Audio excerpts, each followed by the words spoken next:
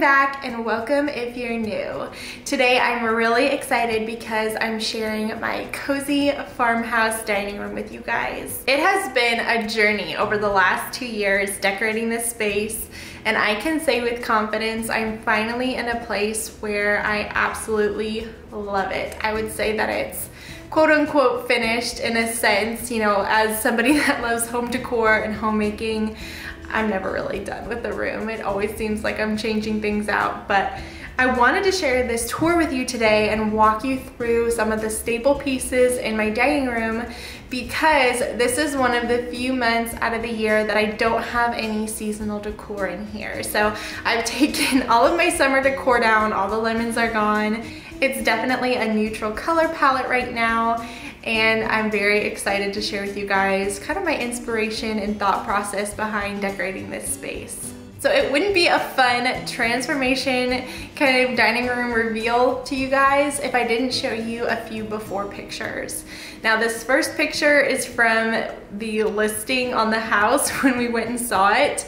It had green walls and it just needed some love. It had a very dated light fixture, very dated window treatments, and we just scrapped it all and all we really had to do was add a fresh coat of paint.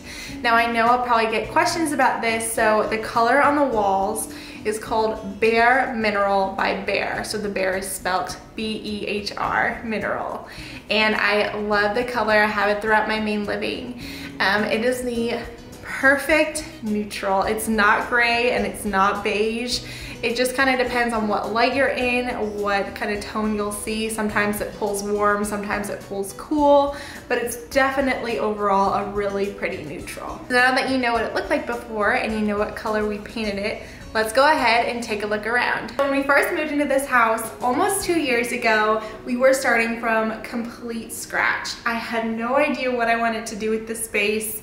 It was my first time having a formal dining space and we didn't have any furniture um, for it. We only had a kitchen table and so this room sat bare for a good bit after we moved in. Um, but that's okay because I took the time to kind of figure out what kind of table and chairs I wanted because I knew ultimately that would steer the direction of the design aesthetic and just the overall look of the space.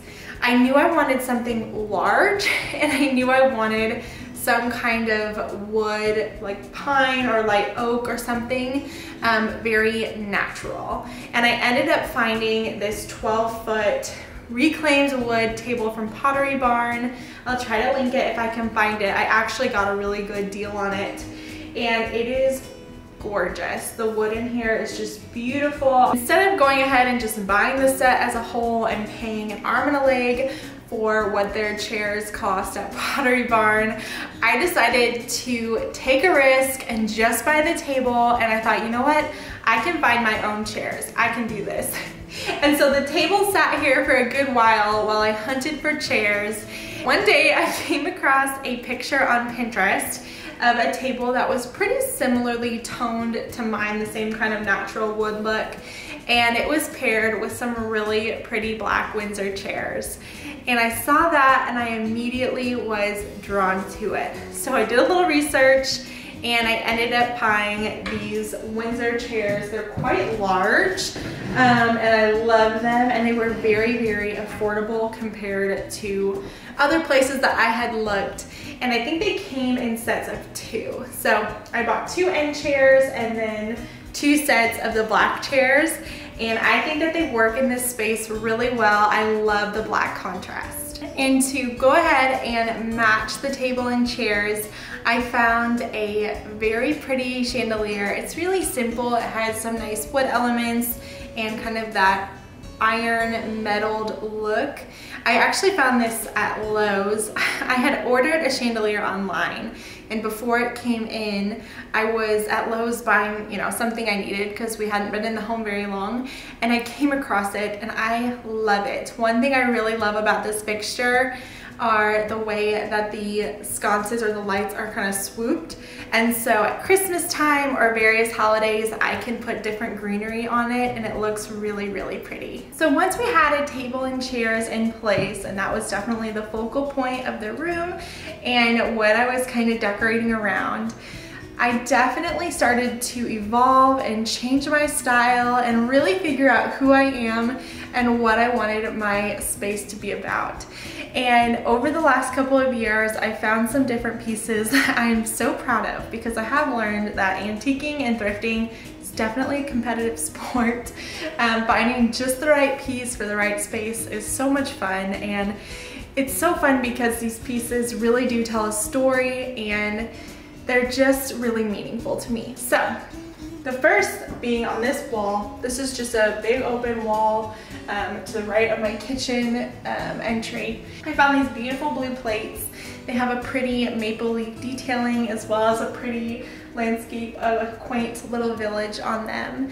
And I don't really know the history behind the plates, but it was so funny because I showed my mom these plates and she had mentioned that she recognized them and that her great grandmother had this pattern. So I instantly felt connected to the plates and I thought that was so cool. So I'll definitely always keep these here in the dining room. And then these white plates, um, again, were thrifted. I don't really think these are like antiques by any means. They could be brand new for all I know, but I found them at a local thrift shop and they were like 25 cents a piece. So I just scoop those up and they match and kind of coordinate with the blue plates really well. If I do happen to find more of this pattern, I'll definitely swap these out. These plate hangers I found on Amazon and they're so easy to use and they're great because you can change out the plates as much as you'd like. Over on the opposite wall, we're gonna kind of play ping pong here and go back and forth. I have this window pane. I picked it up again at a local thrift shop. I think I paid $10 for it. They had dozens of them outside sitting out by the entryway. And so I picked that up. I really loved this color. I thought it added some really nice warmth to the space.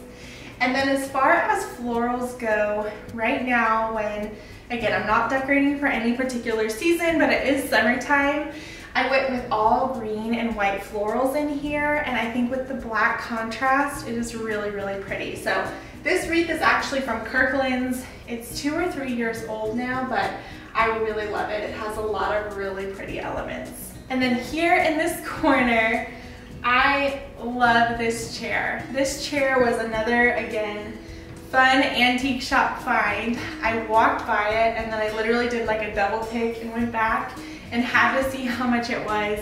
I think I paid about $25 for it. It is gorgeous. I don't know what decade it's from, what era, but it, you can tell it is a traditional Windsor style chair. It's got the scooped back and it just has some really gorgeous detailing on the legs and the color. It's kind of a walnut, again, like this is really, really pretty. And then sitting here on the chair, I just have a cute little basket just to bring some blues into the space to kind of go with the plates and coordinate without being too matchy matchy. And I just got a pillow. The cover is from Amazon. It says like farmer's market on there and threw some greens in there just to have something on the chair, just to give it a little bit of dimension and texture. Now here on the center of the table, I just have a very simple basket. I love the shallow um, handle and that is a shallow basket here and I just threw some assorted florals. Again, I went with the whites and the greens. I believe all of them are from Hobby Lobby. And the basket I think is from as well. Um, I got it on sale, but I love the look of this basket. I think that it adds just a nice little cottagey vibe.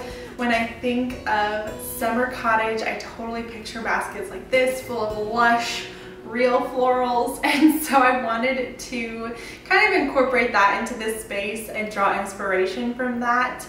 I do not keep a tablescape up on my dining table all of the time. I do have some really pretty table settings, but I keep them all here in the dining hutch, which we'll talk about in a second. Um, but honestly, we use this table pretty much whenever we cook dinner at home, which these days is all the time. And so because we use the table all the time, I don't want to, you know, put the tablescape on, take it off, that kind of thing. So I leave it bare, but I actually really, really enjoy that. So I went back and forth for months, I think maybe even a year, debating whether or not I wanted window treatments because originally I didn't have any on the windows and I loved the bright, open, airy feel that I gave, but I did decide to go ahead and go with a very sheer white linen curtains. And what I did was I found a rod that was longer than the window, or at least extended longer than the window. And I went out several inches on either side, and that way I can pull the curtains and that all of the window still shows, but it adds a nice texture and warmth to the space. It was something just really airy and bright and cheery because of, again, with all the blacks and all the warmth I had already added, I didn't want to bring any pattern or any anything too dark to this space. I wanted to keep it really bright and really fresh. And so I love these. I found them on Amazon, I think for like 20 bucks for both panels, which isn't too bad. The rod did come from Lowe's and it definitely has like an industrial um, pipe look that I really, really enjoy. One of the very first things we did after we had the table in the room was we built some open shelving. And I really wanted the shelving to display pretty white dishes and pitchers and cake stands. I have some gorgeous handmade cutting boards I wanted to display, different canisters and things like that. My number one recommendation when it comes to finding white dishes and white pitchers would be first thrift stores because that's where you're gonna get the most bang for your buck. I can't tell you how many things I've gotten for like 25 cents or for a dollar. Um, but if you don't have any good thrift stores near you, I definitely recommend a Home Goods or Marshalls or TJ Maxx. They tend to carry tons of white serveware at a really good price too. Across from the shelving, again, we're playing ping pong a little bit. I had been on the hunt for a produce scale for what felt like forever and I didn't find one. And I finally bit the bullet and I just went ahead and bought one at a store. This is a faux scale. It's not real. It's not authentic. Maybe someday I'll find a real one. But for now, I think this is really pretty and they did an excellent job making it look antique and this is such a fun piece to decorate. I can fill it with really lush greens or flowers. Previously for summertime I had pretty lemons filled to the brim and you better believe come fall I'll fill it up with pumpkins. So it's just a really fun piece to kind of change things up. And then in this corner have a blanket ladder. I believe it's from a Hobby Lobby. I had it here during Christmas time and when Christmas was over I was like you know what? I really like it in this space. I think I'm just gonna keep it in here. So let's go ahead and talk about my pride and joy of the dining space my hutch. I found this hutch on Facebook Marketplace for 25 bucks. It was in an old foreclosed home and they were just getting rid of stuff, the new owners. And so they were, you know, eager to sell. And I brought it home. I don't think it had moved in 50 years. It was caked on with dust and dirt and grime, but I got it clean. I spruced it up and I painted it white and it is the perfect little piece here in our dining room that I just love to decorate for the seasons, but right now I have it decorated pretty neutrally. It's um, There's not really any seasonal decor up here. This is all decor I could have up any time of year. I have loved this piece. It is perfect for the space and it is so much fun to decorate. Again, I love doing white dishes and white serveware. I have assorted pitchers over here. I found these little wooden spoons at Hobby Lobby. So, so cute. I've got little white, a little kickstand here. I love the color and the detailing in this. And again, it's that same um, wood tone from over here, so it pulls a little warmth. It's really nice. Um, and most all of these pictures and things are from thrift stores, again, home goods. I like to add little pops of greenery where I can just to kind of freshen up the space. I did add that third plate. I told you all I got three. I added the third one to the hutch just to kind of coordinate and bring everything together and make it feel cohesive it looks really, really good. I'm happy with that. And then I have this little wired basket. I can't even remember where it's from. I think Home Goods actually. And I just, as I found different rolling pins at antique shops and things, I keep adding it and my collection seems to keep growing. But I love, love, love the way that this hutch turned out. and it is just very simple, but it's really, really pretty. So I hope that you really enjoyed this dining room tour and that you were able to get some ideas and inspiration and kind of saw my thought process behind decorating some of the items in here.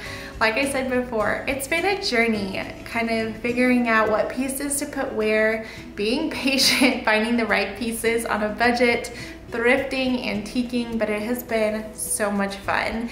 And my dining room is by far my favorite room in the home and I'm very, very thankful for it. But if you happen to be new around here today, I just wanted to say hi, my name is Amy and I'm so glad that you stopped by. Here on my channel, I do tons of decor inspiration, decorating ideas, and homemaking motivation, and I would absolutely love to have you join my YouTube family. So if you like what you saw today, make sure you hit the little red subscribe button down below. Again, hope you enjoyed the video, hope that it brought a little joy to your day, and I'll see you guys really soon in my next one. Bye.